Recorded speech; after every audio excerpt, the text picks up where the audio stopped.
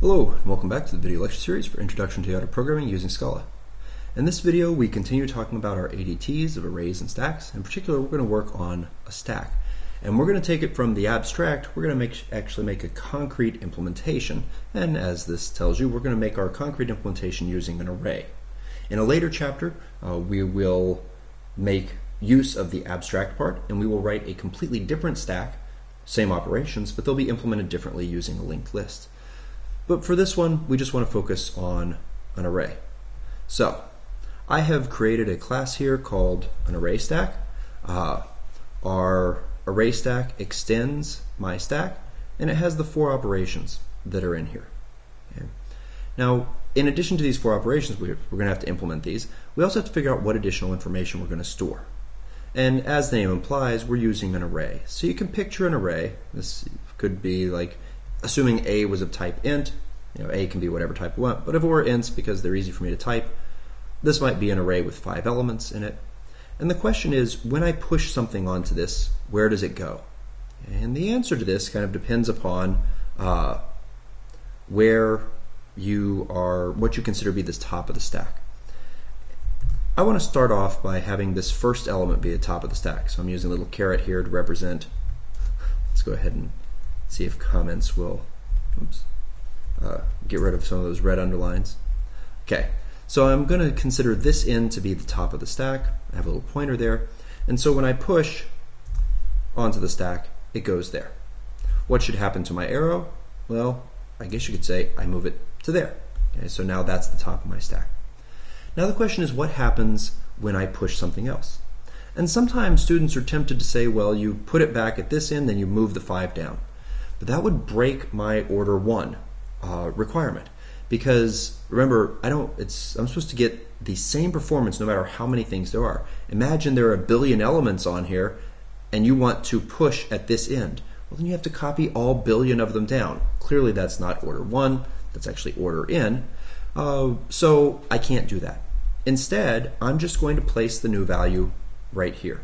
So let's say the new value were, was a 2, and then my top moves. So this arrow, top, uh, is just simply an int as an index into my array, and my array stores the values. What happens when we pop off? Well, when we pop, this gets decremented, and we return the value that's located there. Uh, okay, so this is what I need to, to implement inside of here. I need to have an array, and I'm going to make it private. We'll start off making it a val. That's how we do things. Uh, and how about we call it data? And data is going to be equal to, I'm going to make a new array of type A and I'll start off saying, let's put 10 elements on here. In addition to that, I want to have a private, now this I know is going to change, var top, and start off at zero. Okay, the, so that top represents my little arrow, the data represents this array, and we need to figure out what's unhappy here. So we have this error, and it says cannot find class manifest type A. This error would be rather confusing to, to a novice uh, programmer. The problem is, it turns out, so when I create an array, uh, it needs to be filled with the default value. So if I create an array of ints, it needs to be filled with zeros. If I create an array of doubles, it needs to be filled with 0 point zeros. If I create an array of strings, they're filled with null. In fact, anything that's AnyRef would be filled with null but they would need to be filled with different things. And it turns out that the Scala doesn't know by default what it is because A is just too general. I haven't told it anything. And so to correct this, I need to tell Scala that A has a manifest. And there's some syntactic sugar that's going on in the background that we don't really care about here. But this makes it so that we can create arrays of, of this type. Um, and in general, when we create, when we need something that's going to be array based and it has a type parameter on it, we're going to be doing exactly that. So now we need to implement our four methods. And the way I do this with my students, I'm like, let's start with the easy methods. That way we'll feel successful early on. Okay? Which one of these methods is the easiest? Well, I would argue it's is empty. When is the stack empty? Well, the stack is empty if this arrow is all the way back at the beginning. So we're empty when top is zero. And if top's not zero, we're not empty. Okay, so hey, that one's done. Yay. Doesn't that make you feel successful?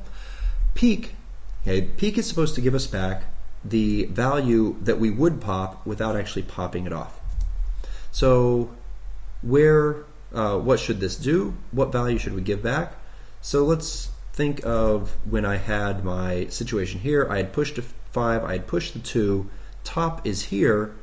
When I want to peek, I should return the 2. Well, that's being pulled out of data, and it's not at top, it's at top minus 1. Uh, one might ask the, oh, sorry, gosh, I'm definitely doing too much C++ programming, mixing up my languages here.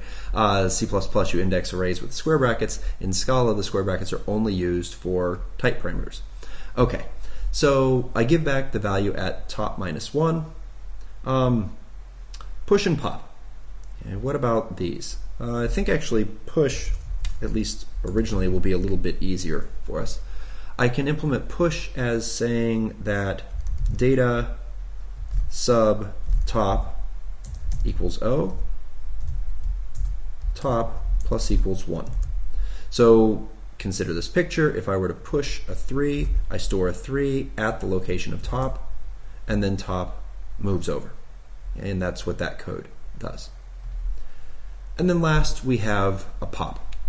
And the pop is supposed to give us back this data value, but it's also supposed to move the top back one. Okay, so how do we do this? Well, first, I'm actually going to make a new val. I'm going to call it ret. It's the variable name I like to use for something that is uh, at, actually, no, wait, I don't need a ret here. I would if I'm going to clear things out. Um, Turns out that the clearing out, because we are we have type A, I don't know what this should be, can be a little bit more challenging.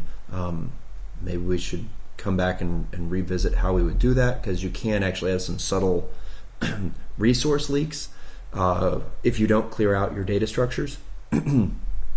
but this will suffice for us now. I decrement top, and then I return the value that's at the top. And then the next time that we push, we will overwrite that value with the new thing that we've pushed and increment top again. So, in many ways, this looks like a perfectly happy little implementation of our array stack. Uh, and in many ways, actually, this could pass quite a few tests. It will work very nicely, except for we have one minor problem, and that is the fact that it only stores 10 elements. So if we were to do some testing of this, we would find as soon as we try to push the 11th thing onto our stack, this code will crash. And so we'll come back in the next video and we will look at writing the tests for this uh, and also then fix the fact that we can't push too many items onto it.